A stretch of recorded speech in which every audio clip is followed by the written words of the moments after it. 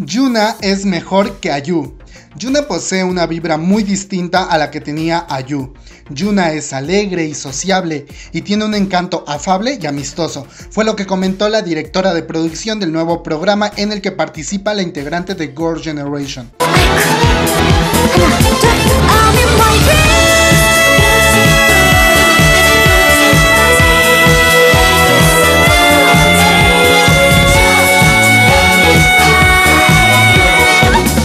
La segunda temporada del programa Hiyori's Homestay ya empezó sus transmisiones y el público coreano no tardó en comparar la participación de Ayu y la de Yuna. Ayu fue parte de la primera temporada y ocupó el papel de la empleada doméstica de la pareja del reality. En esta segunda temporada Yuna ocupará este mismo personaje. 어유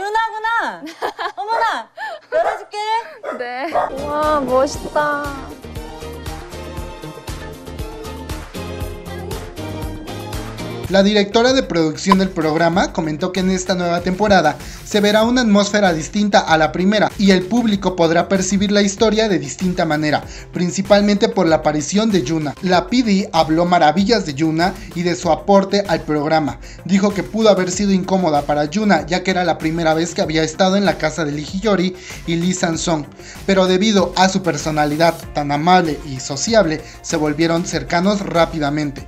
Cuando le tocó hablar sobre Ayu y Yuna, esto fue lo que dijo. Yuna tiene una vibra completamente diferente de Ayu. Ayu era tímida y tenía una personalidad introvertida, mientras que Yuna es alegre y sociable y tiene un encanto afable y amistoso. Las dos emitirán vibras muy diferentes a cada temporada.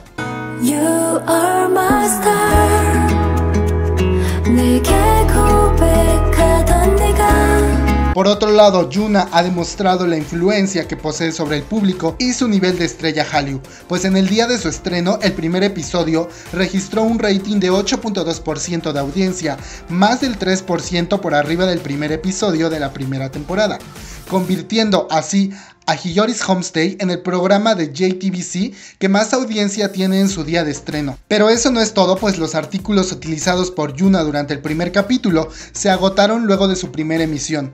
Durante el primer episodio, Yuna utilizó una guaflera que rápidamente se agotó en los supermercados y tiendas departamentales de Corea, e incluso en Twitter los usuarios informaban que el producto se había agotado en los centros comerciales. La guaflera, el modelo y la marca estuvieron dentro de los primeros lugares de búsqueda en electrodomésticos de internet. También la ropa utilizada por Yuna en el episodio se agotó de los almacenes y en línea.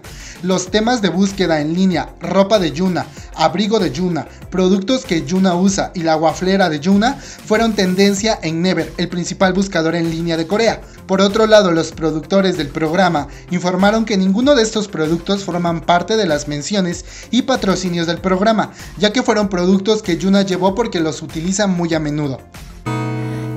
Stars in the sky 이 밤은 낯설지 않아 pues bueno amigos, hasta aquí el video del día de hoy. Espero y les haya gustado. Aquí en los comentarios déjenme su opinión sobre este chisme coreano. Y no olviden que se pueden suscribir para enterarse de cada que yo suba un nuevo video con noticias, curiosidades o datos sobre K-Pop y sobre dramas. Aquí abajo hay un botoncito rojo que dice suscribirse.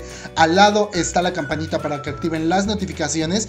Y en la caja de descripción les voy a dejar todos los links a mis redes sociales donde subo contenido diferente todos los días. También les recuerdo que se pueden suscribir a mi segundo canal que es de blogs de viajes. Aquí en la descripción también va a estar el link y seguramente aquí en la pantalla ya les están apareciendo recomendaciones de otros videos que he subido a este canal y los botones para que se suscriban a este y mi canal de blogs de viajes. Y pues nada, recuerden que yo soy Shiro para Shiro no Yume y nos vemos hasta el próximo video. Bye bye.